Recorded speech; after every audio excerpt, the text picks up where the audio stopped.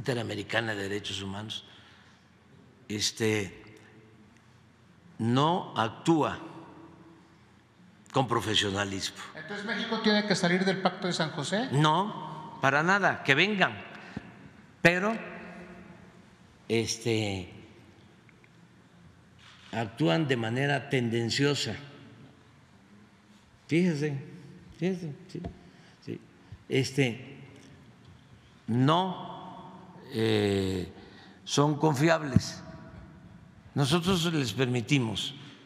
Usted sabe que ocupó un cargo de derechos humanos, yo creo que ese, el que está ahora de senador independiente, Álvarez y Casa, y él fue de derechos humanos aquí, y cuando nosotros estábamos protestando en el 2006 porque nos robaron la presidencia de la República,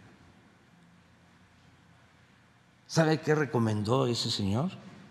Que después pasó a a estos organismos de derechos humanos a nivel internacional, porque es un farsante, y así hay muchísimos, pseudos defensores de derechos humanos, pseudos ambientalistas,